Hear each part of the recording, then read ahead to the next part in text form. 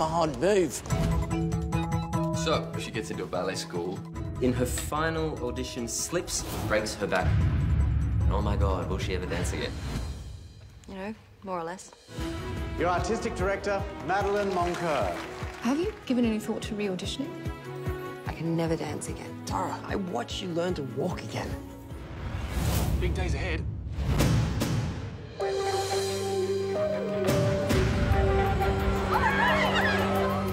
No one takes 18 months off and expects to get into the National Ballet Company. It's not impossible with the right trainers.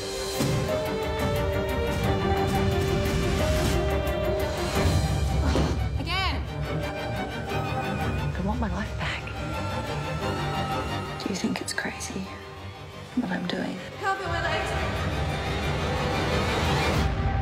it! She didn't tell you.